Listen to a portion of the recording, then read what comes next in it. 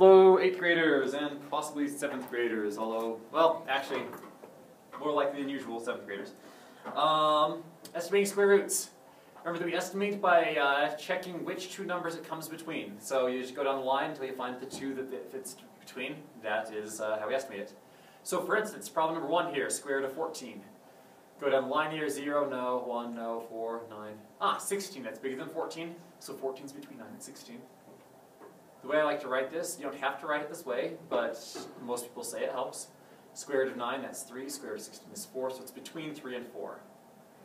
So 3 point something.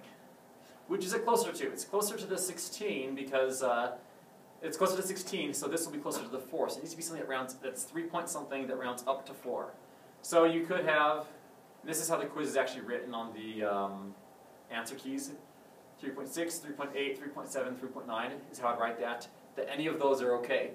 And of course, you can also give more digits than that. 3.74, 3.65. So long as you have something that rounds up to 4, you're good. You cannot put a 0.5.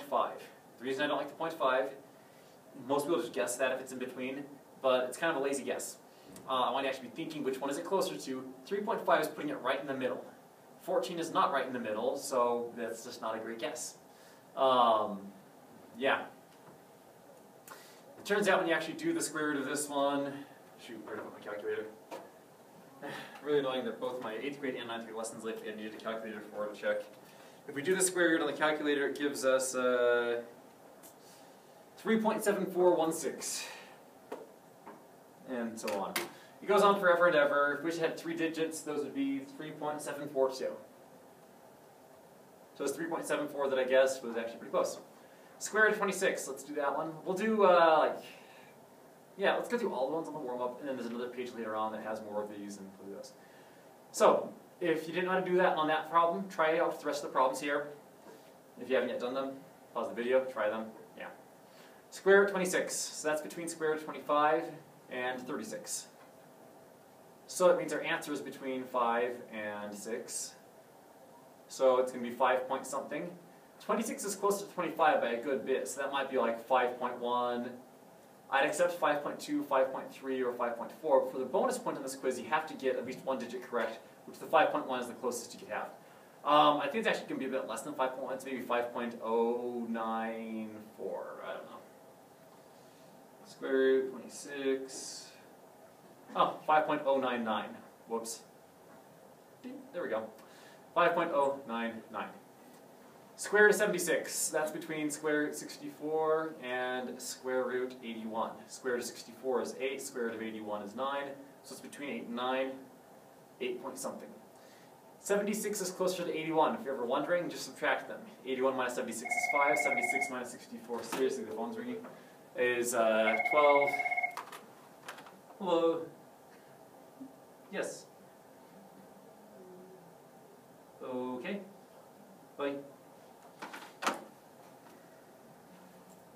ISS. Wait, me? Yes, you. Okay, so, I'm sure you're not in trouble. Probably. Okay, shh, no laughing. So, notice how carefully there, because I'm putting this on YouTube, I did not want to be saying the name of the person that's getting called down to whatever. So I made sure to do that without saying any names. Anyway, um, so this one here, it's closer to the 9, that's got to be 8.6 or 8.7 or whatever. Turns out if we actually do that, square root of 76, and of course you don't have to get every single digit correct. If you just had uh, 8.6, that'd be good enough.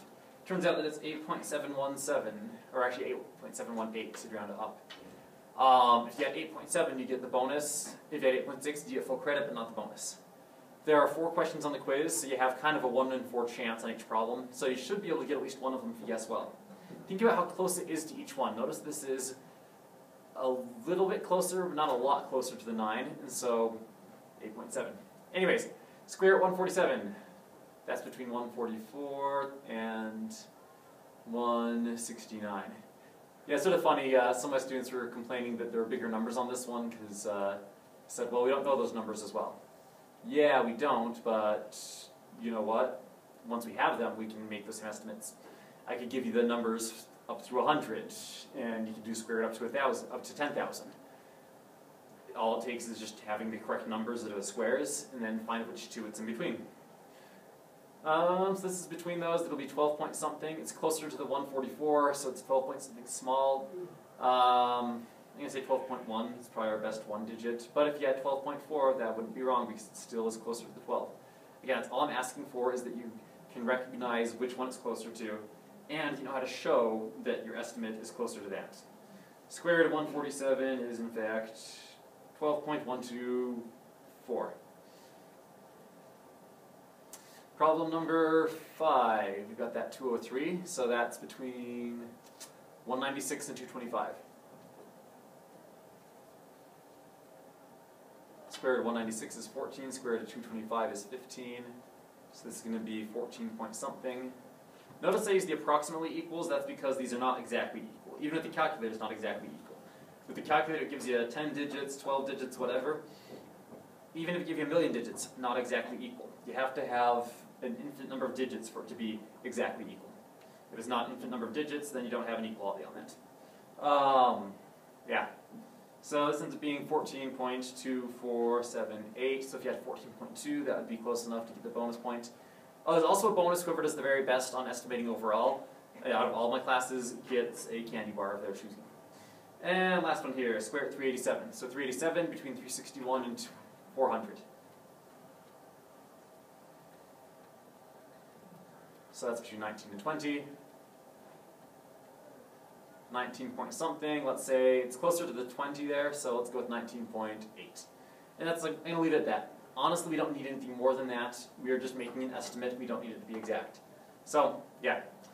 Um, let me just say, these numbers up here, these square numbers up through uh, 400, those are worth knowing. Those are worth being familiar with. Um, square numbers, there are a variety of problems where square numbers come in handy, where square numbers, or rather it's, it's there's problems where you see a square number and that number is an important number because it's a square number. That knowing it's a square number might help you to solve that problem. You're going to start running into those in 10th grade and 11th grade especially, but already being sort of familiar with these will help you with those types of problems because when you have a problem where it's important that you know that the square root is seven, that 17 squared is 289, you want to see that 289 and say, oh, that's 17 squared, which will then tell you you're dealing with some sort of quadratic situation or something like that. There's all sorts of different things, but yeah. Anyway, um, we had a quiz on this day. It was after doing, let's see, class business, the usual stuff. Box tops, doing box tops.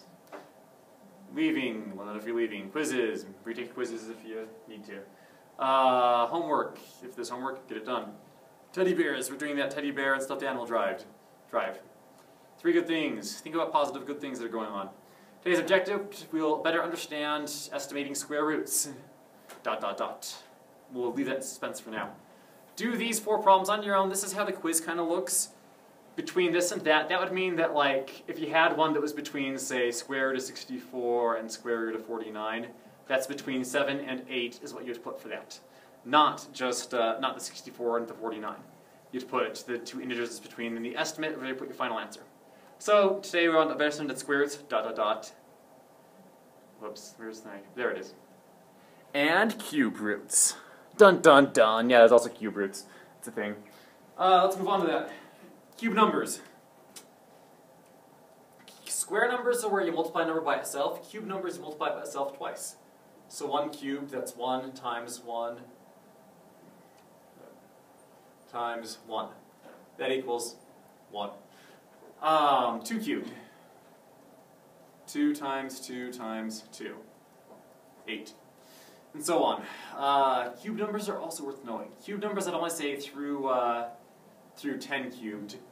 See, square numbers through uh, 20 squared and cube numbers through 10 cubed, those are numbers that tend to come up on tests, whether that is your teacher's test at the end of the unit, or whether that's a ACT, an ACT or SAT that you're taking to get into college to get scholarships. Those are the numbers they feel like are fair to expect someone to know.